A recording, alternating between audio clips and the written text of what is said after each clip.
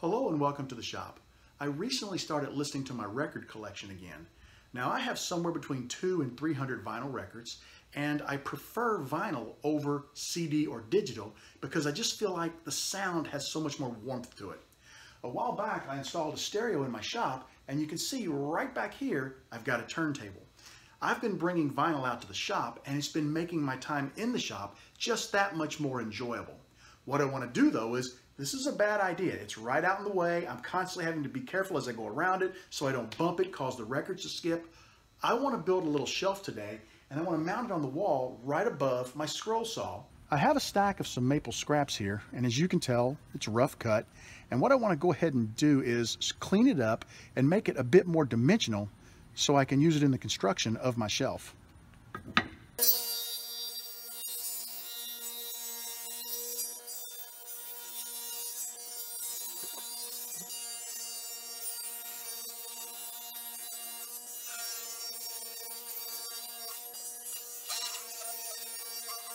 Once I dimensioned the wood, I went ahead and put it in these picture frame clamps. I just made butt joints, but I glued and screwed all four of the corners. This will be the, the top shelf that the turntable sits on. Once the glue dried, I went ahead and ran the palm sander around the entire surface of my box. I've glued a second piece onto the bottom of the shelf. We'll flip the shelf over when we mount it, and we'll have our surface for the turntable to set on on the opposite side.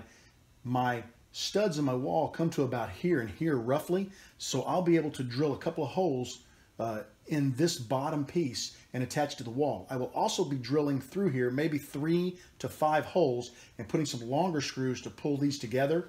Um, the glue should be enough to hold it, but since there, there is no brace out here, this is the entire weight of the turntable will be held by this back piece. I want to make sure that I, I firm it up as best as possible.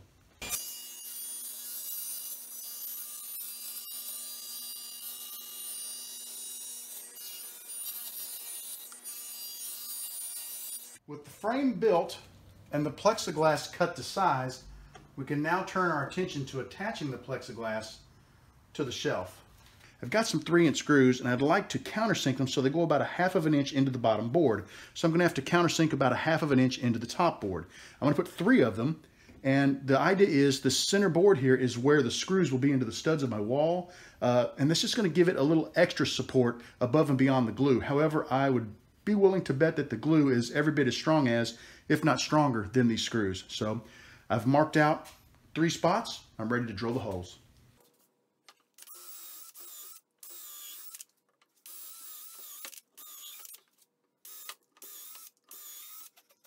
With the initial holes drilled, I'm going to come back with this countersink bit and it has a Allen screw right here. I'm going to drill in up to that Allen screw, which should give me about a half of an inch depth, which is exactly what I want for countersinking that screw uh, through the top board.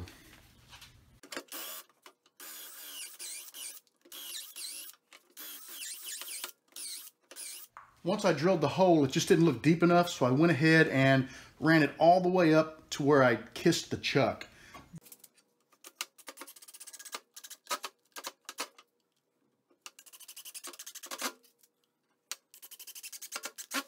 I've got the smoked glass ready to attach and I went ahead and drilled the holes and countersunk them off camera before I realized that I wanted to record the process. I've got my bit chucked up in the drill. I'm going to go ahead and tap the wood so that I can easily thread the screws in with a screwdriver. I have one issue and that is back in the back here.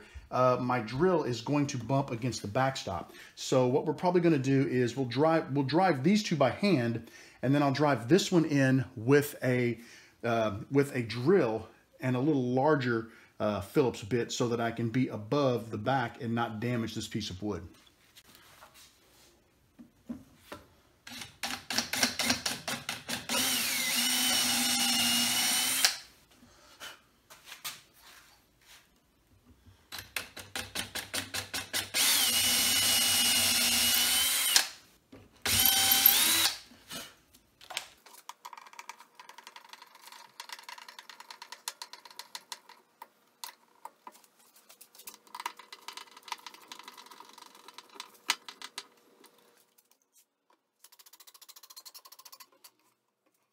All that's left is to get our shelf hung on the wall in its new location.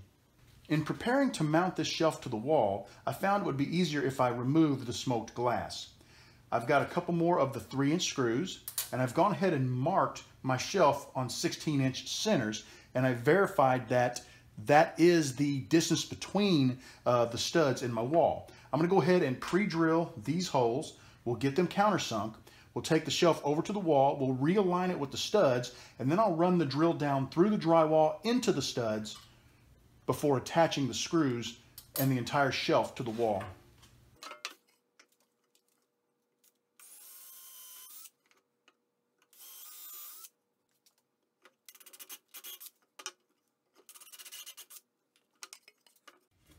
I'll get a little sandpaper and touch that up to get rid of the uh, fuzzies and we'll be ready to take it to the wall. I've gone ahead and inserted the screw and I've let it protrude through the back which will make it easier for me to find the hole I just drilled. And now we'll go ahead and attach the shelf.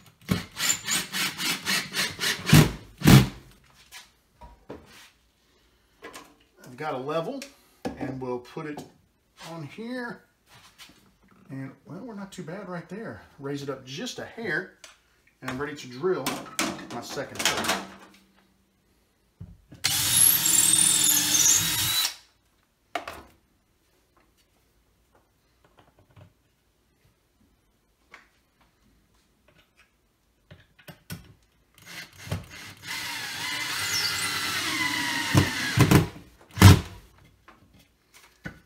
All right.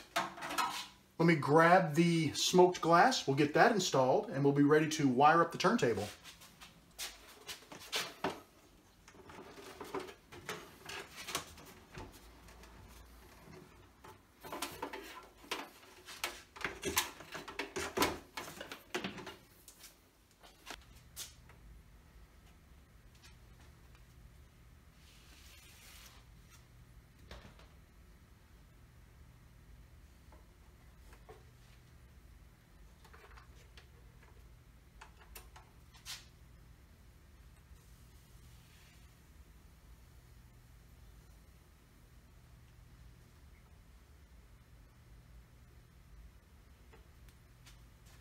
I really hope you enjoyed this video. I mean, I didn't do anything earth-shattering. Uh, this was more a function over form project. The thing I like about it is I built it out of things that I already had in the shop. I didn't have to buy anything. I just went through my scrap pile, got some uh, got some nice maple. I had some uh, smoked glass uh, from a from another project that I had, and I just grabbed those things, brought them together, and made this shelf and I love it. I've been listening to records. It's perfect. Uh, there's a ledge on the back. I think you can see that sort of a dark shade right there. That is uh, an album leaning against the wall because it's about an inch and a half thick. So I can set the albums behind the turntable and keep them up out of the way. Like I said, it's nothing fancy. It was more just something for me to uh, make my shop a more pleasant place to work.